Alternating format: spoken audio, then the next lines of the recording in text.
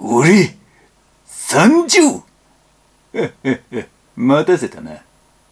俺は最初から最後までチョキングなんだよはい、こんにちは。マーチャンネル前原です。はい、今日はこちらですね。仮面ライダー電王、チョキング、桃太郎スイマジンです。今年で電王10周年だね。はいはい。パパが大好きな仮面ライダーの電王10周年で、ドンキにこんな面白いのがあったので買ってみました。えっと、貯金箱なんだけど、なんかすごいいろいろ機能がついてるらしい。うん。あ、そうだ、エイジング今日からですね、ちょっとおしゃれメガネに変えてますんでね。はいちょっと横向いてあげてよ。ほら、赤赤のね。じゃあ早速開けていきましょう。うんよいしょ。この中にと、よいしょ。おお。俺、参上待たせたな。俺は最初から最後までチョキングなんだよはい、そんな感じでですね、えーチョキングこちらでございますね。はい。すごいね、完全に桃太郎さんね、これね。うん。うん、いい感じですね。ただ、えー上の部分はこのフィギュアみたいになってるんだけど下はこれ貼ってるだけだね、うん。絵ですね。これこうすると。そうだね。桃太郎さんになるね。いいじゃん。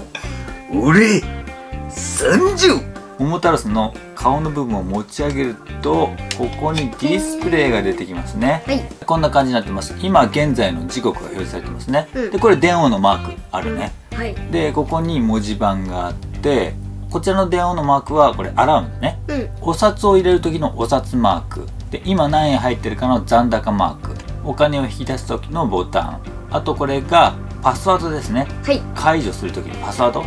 これを設定することがここでできますね。はい。でこれねとってもすごいなと思ったのがコインをね投入すると自動判別してくれます。はい。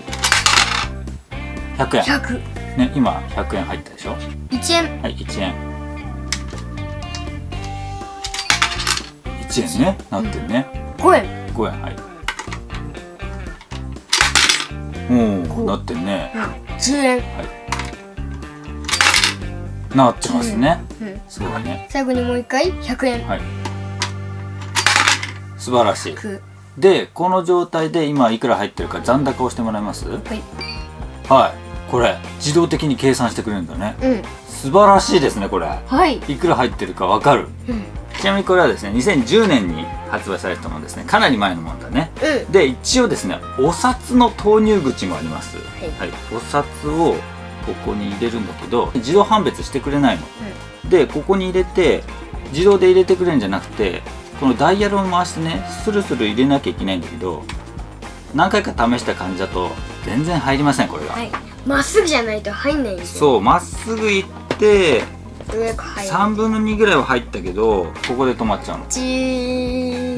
これ以上回してももう入りませんちなみにお札はさっきのお札ボタンを押して自分で入れた金額を入力する必要がありますね。はい。なんでまあこれはコイン貯金箱だねどっちかというと。それで引き出し方ですね。はい。は引き出しボタンをまず押してもらってでデフォルトのパスワードが000なので押してください、は